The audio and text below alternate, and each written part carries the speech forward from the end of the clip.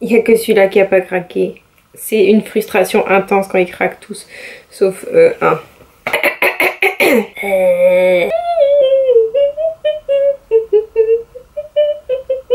Bon allez, au travail.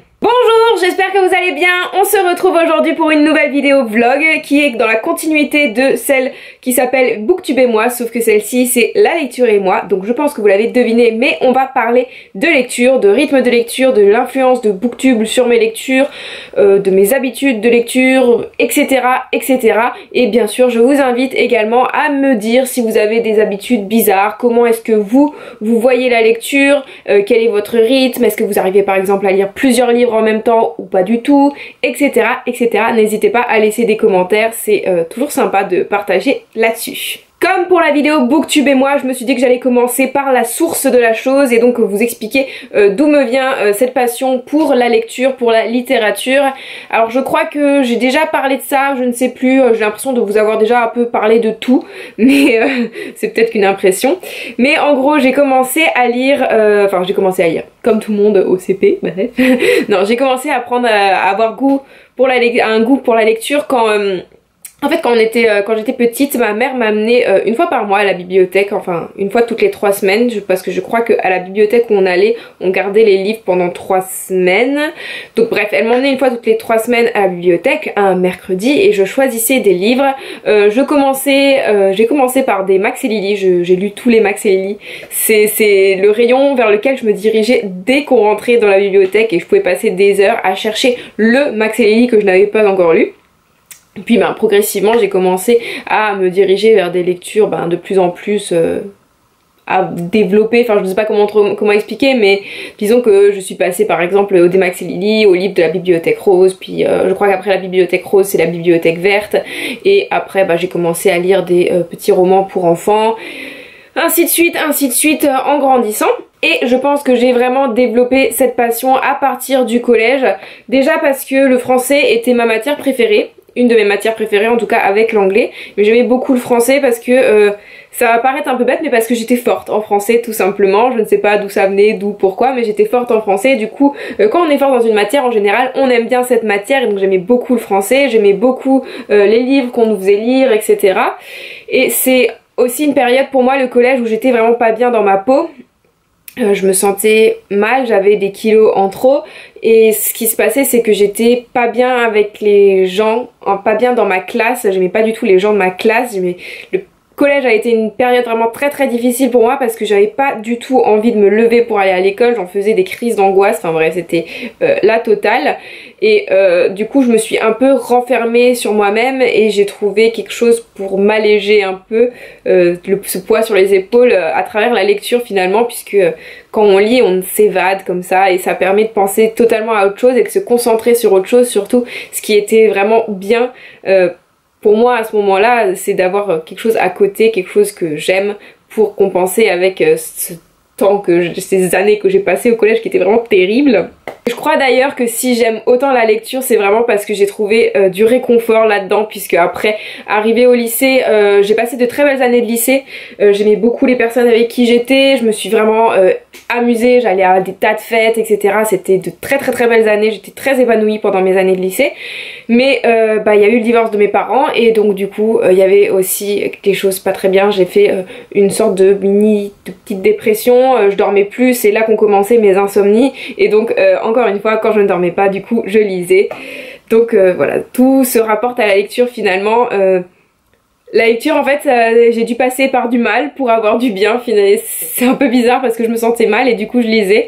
Et euh, au jour d'aujourd'hui, la lecture, c'est plus qu'un réconfort pour moi. C'est quelque chose qui me permet de m'évader.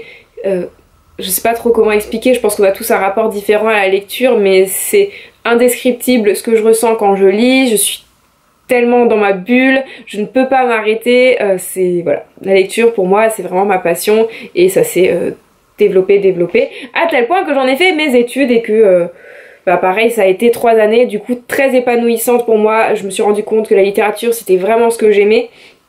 Et voilà, c'est ma licence, j'en suis très très contente de l'avoir, je suis plus que fière d'avoir fait une licence en lettres modernes. Et je pense que je parle voilà, on ne peut pas, me retirer ça, on ne peut pas me dire que j'aime pas la littérature, on ne peut pas me dire que je n'aime pas lire. C'est euh, vraiment euh, une grosse part dans ma vie. Après, je pense que vous l'avez remarqué, mes booktubes a pas mal influencé mes lectures. Je ne sais pas si certains d'entre vous, enfin s'il y a encore des, abonnés du tout tout début, mais au début je disais que j'avais beaucoup de mal avec la littérature jeunesse. Euh, Booktube m'a réconcilié avec la littérature jeunesse parce que je pense que j'avais beaucoup de préjugés sur la littérature jeunesse. À l'époque, c'est vrai que je lisais, qu'est-ce que je disais à l'époque? Je ne sais même plus pour être honnête, mais euh, oui, j'avais du mal avec la littérature jeunesse parce que peut-être je m'étais tournée vers les mauvais livres, les mauvaises sagas. Aujourd'hui, je suis réconciliée avec ce genre, j'en lis beaucoup plus, je lis beaucoup de jeunesse, beaucoup de young adultes, euh, ça me plaît. Après, euh, ce qu'il y a, c'est qu'il faut, je pense qu'il faut pas trop en faire non plus.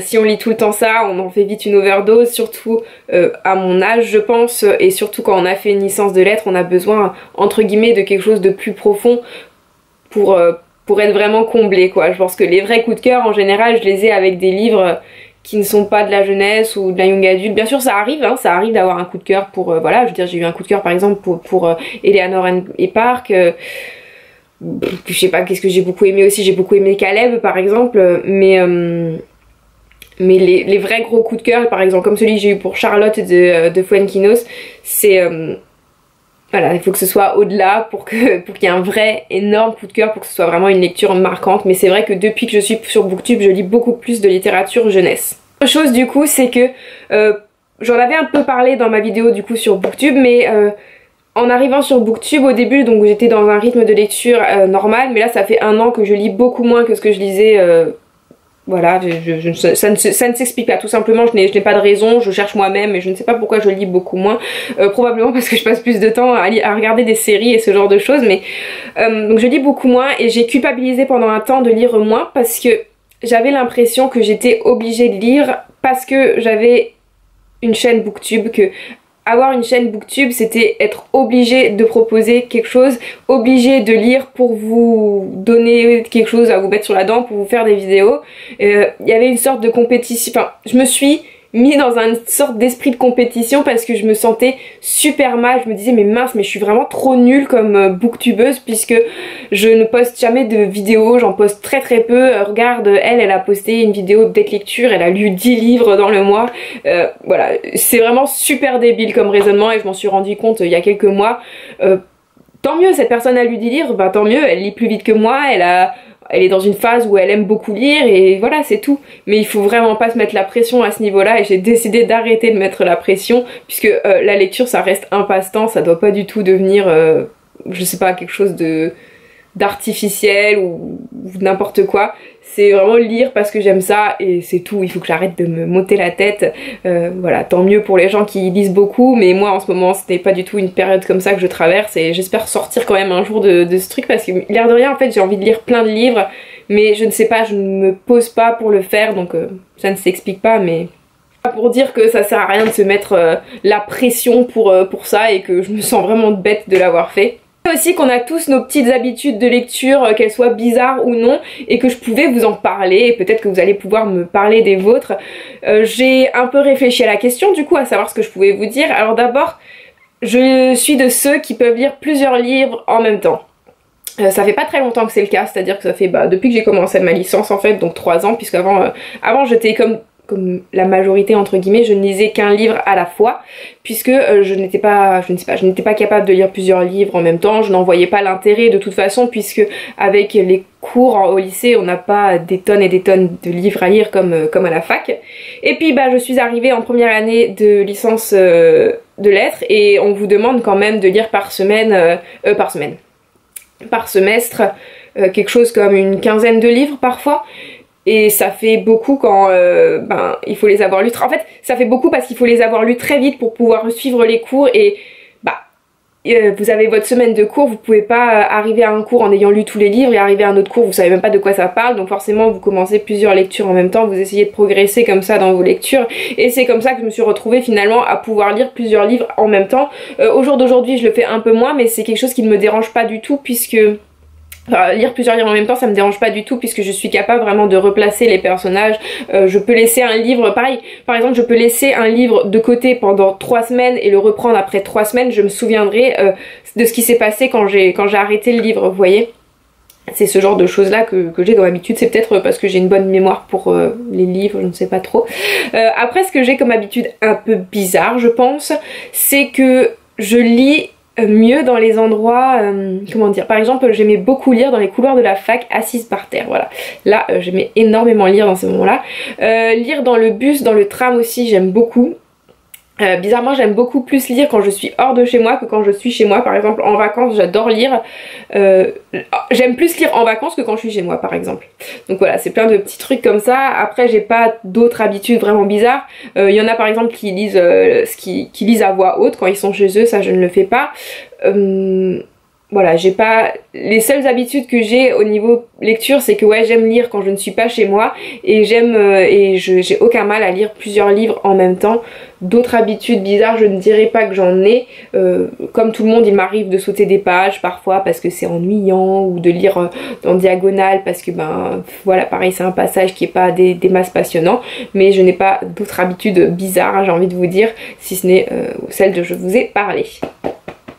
Et du coup j'ai un peu fait le tour de la question sur mon rapport euh, à euh, la lecture. J'espère que cette vidéo vous a plu, qu'elle a été intéressante. Elle est un peu plus courte que la précédente, tant mieux, je mettrai moins de temps à la mettre en ligne parce que j'ai véritablement galéré pour vous mettre en ligne la vidéo Booktube et moi qui dure je crois une vingtaine de minutes. Bref, donc voilà, j'espère que ça vous a plu. N'hésitez vraiment pas à réagir, dites-moi ce que vous, vous avez comme habitude de lecture. Est-ce que vous êtes capable de lire plusieurs livres en même temps?